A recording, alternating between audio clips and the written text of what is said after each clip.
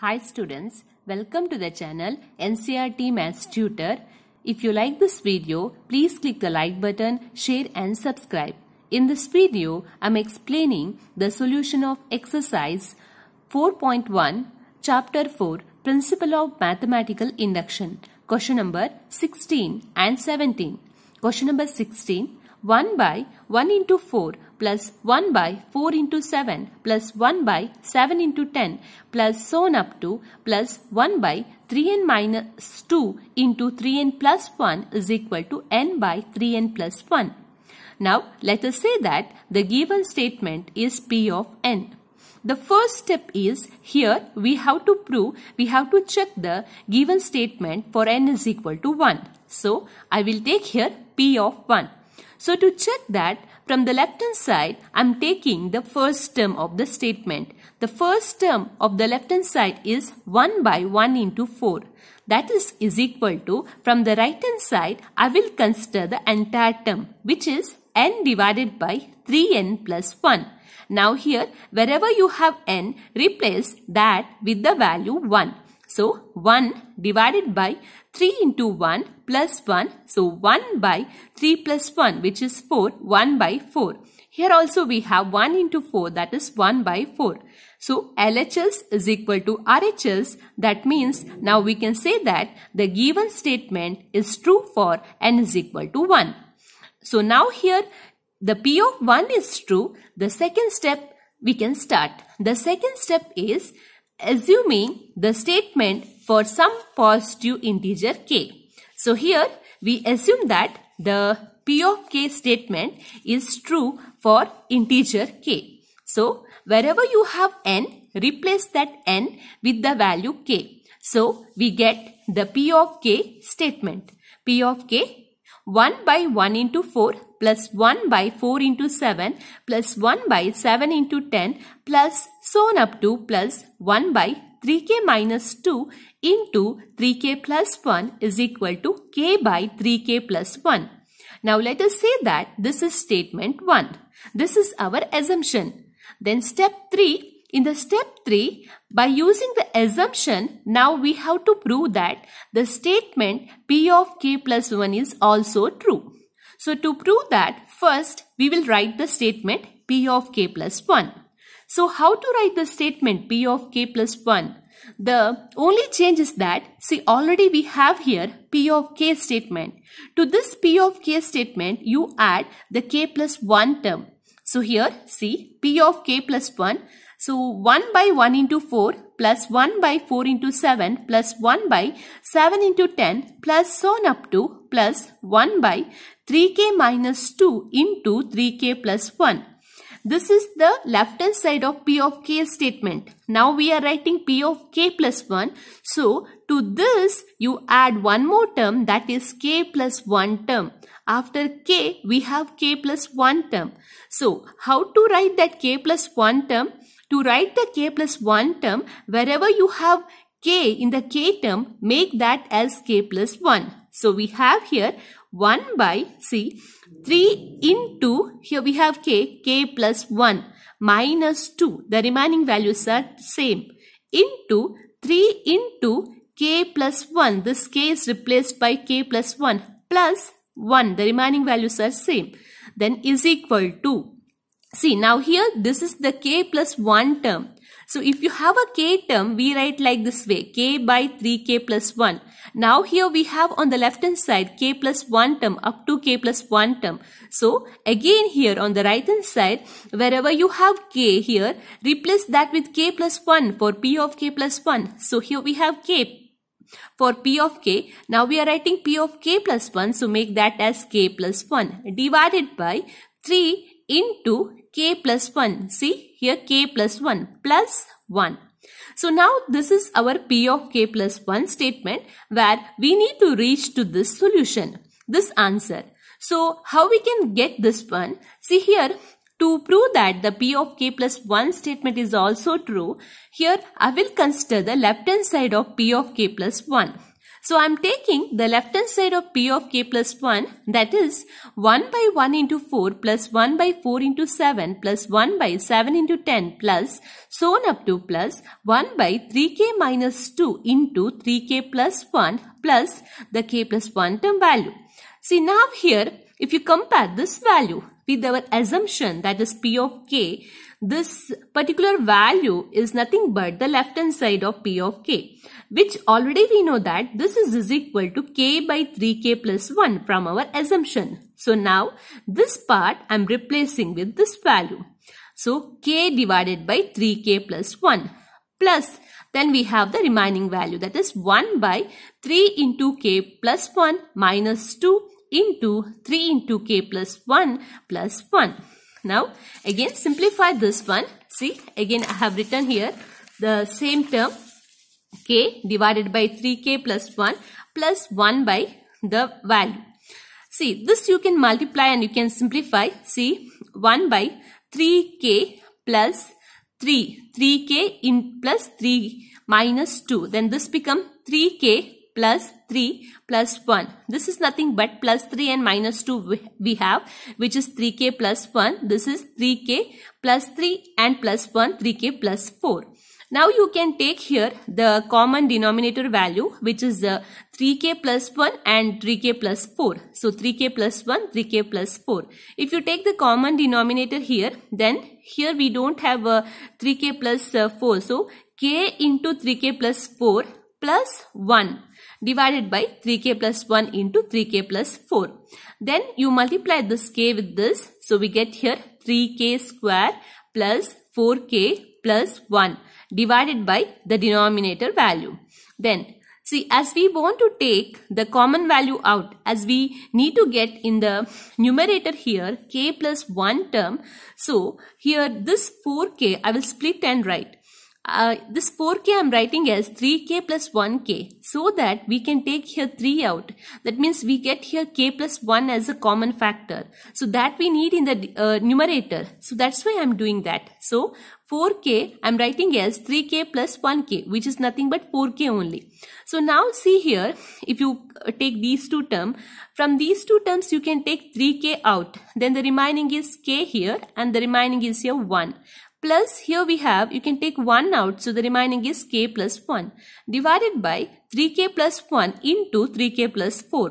Now here uh, in this term among these two terms, we have k plus 1 here as well as k plus 1 here that means k plus 1 you can take out. So if I take k plus 1 out here the remaining is 3k and here the remaining value is 1 divided by 3k plus 1 into 3k plus 4. Now you can cancel these two values as we have a common value here same value then k plus 1 divided by 3k plus 4. See we need this particular value almost we have reached to the solution. In the numerator we have k plus 1 but in the denominator it is 3k plus 1 plus 1. So see this 4 I am writing as 3 plus 1 which is nothing but 3k plus 4 only. So 3k plus 3 plus 1.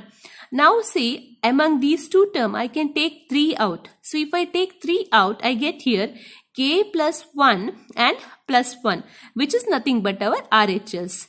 See while uh, simplifying these uh, values you have to see the p of k plus 1 right hand side. By seeing that if you try to simplify then it will be easier for you to reach to the RHS side. So now here we have reached to the RHS. That means uh, now we can say that the statement P of k plus 1 is uh, true whenever P of k is true. So hence uh, by principle of mathematical induction now here uh, the statement P of n is true for all the set of natural numbers. So this is about question number 6 so 16 solution. Next here we will discuss the question number 17 solution.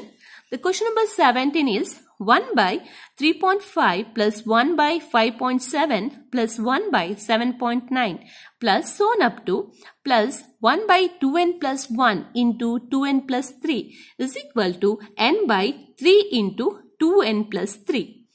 Now let us say that the given statement is p of n. So now the first step is we have to check the statement for n is equal to 1 that is for p of 1. So to check that from the given statement from the left hand side I will consider the first term which is uh, 1 by 3 into 5. 1 by 3 into 5 that is, is equal to here we have 1 by the right hand side entire term. Here we have n. Replace that with the value 1 as we are checking for n is equal to 1 so 1 by 3 into 2 into 1 plus 3 so 3 into 5 which is nothing but 15. 1 by 15 we have here is equal to this becomes the 2 plus 3 which is 5 then 5 into 3 that is also 15. So 1 by 15 is equal to 1 by 15. So here LHS is equal to RHS that means now we can say that the given statement is true for n is equal to 1. Next, as we have checked for n is equal to 1 and it is true, now we can proceed to the second step. The second step is making the assumption. Here to make the assumption, we take some positive integer k and we assume that the statement p of k is true for that integer. So first step is here we have to write the statement p of k. So how we can write the statement P of k? To write the statement P of k, in the given statement, wherever you have uh, n, you can replace that with the value k. So we get the statement P of k as 1 by 3 into 5 plus 1 by 5 into 7 plus 1 by 7 into 9 plus so on up to plus 1 by 2k plus 1 into 2k plus 3 is equal to k by 3 into 2k plus 3. Now let us say that the this particular statement is 1, statement 1. Next, by using this assumption, now we have to prove that the statement is also true for p of k plus 1. So to prove that, first let us write the p of k plus 1 statement. p of k plus 1 statement means here we are adding one more term after k that is k plus 1 term. So we have here p of k plus 1 statement as uh, the some uh, most of the values are same as k statement that is 1 by 1 by 3 into 5 plus 1 by 5 into 7 plus 1 by 7 into 9 plus 1 up to 1 by 2k plus 1 into 2k plus 3 see this is up to k term. Here we are writing k plus 1 term. So plus you have to add the k plus 1 term. 1 divided by 2 into wherever you have k make that one as k plus 1 so 2 into k plus 1 plus 1 into 2 into k plus 1 plus 3. So this is the left hand side. See now the left hand side is up to k term, sorry k plus 1 term. If it is up to k term, we have k divided by 3 into 2k plus 3. Now it is up to k plus 1 term. So again here you have to write up to k plus 1 term means k is replaced by k plus 1 divided by 3 into 2 into k is replaced by k plus 1 plus 3. So this is our P of k plus 1. We need to prove this one. I mean, we need to reach to this particular RHS value. So how we can reach that? So here, I will consider the left hand side of the P of k plus 1 statement. That is uh, this one, this much part. Here, if you compare this one with our assumption, you can see that on the left hand side, this much part is nothing but our left hand side of P of k. So, and uh, by our assumption, we know that this value is equal to k by 3 into 2k plus 3. So, now I am replacing this value with this. That is from our assumption. k by 3 into 2k plus 3. So, k by 3 into 2k plus 3. Plus we have the k plus 1 term value 1 by 2 into k plus 1 plus 1 2 into k plus 1 plus 3. See now you can simplify this one as uh, this one remain as it is 2k if you multiply 2k plus 2 plus 1 then 2k plus 2 plus 3. So we get here 1 by this become 2k plus 2 plus 3 2k plus 3 and this one uh, 2k plus 2 plus 3 that is 2k plus 5. So here we have k by 3 into 2k plus 3 plus 1 by 2k plus 3 into 2k plus 5. Now you can take the common uh, denominator value here from this. Uh, if you take the common denominator here. See, we have the common denominator as 3 into 2k plus 3 into 2k plus 5. So, this becomes k into 2k plus 5. So, k into 2k plus 5 plus 3 plus 3. Now, here if you multiply this with this, we get 2k square plus 5k plus 3 divided by the denominator value. Then See, as we need here uh, some k plus term out in the final answer in the RHS side. So that's why here I'm uh, splitting this 5k as 2k plus 3k so that I can take here common values out. So I will write 5k as 2k plus 3k so that from this we can take uh, 2k out and from this we can take 3 out. So if I take here 2k out, 2k out, the remaining is k here and the remaining is 1 here plus from this I will take 3 out. So the remaining is k here. Here the remaining is 1 divided by 3 into 2k plus 3 into 2k plus 5. Now here the common term we have that is k plus 1 here as well as here. So you take that out. k plus 1 if I take out here the remaining value is 2k plus 3 divided by 3 into 2k plus 3 into 2k plus 5. Then here we have same values so you can cancel that. After cancellation we get here k plus 1 divided by 3 into 2k plus 5.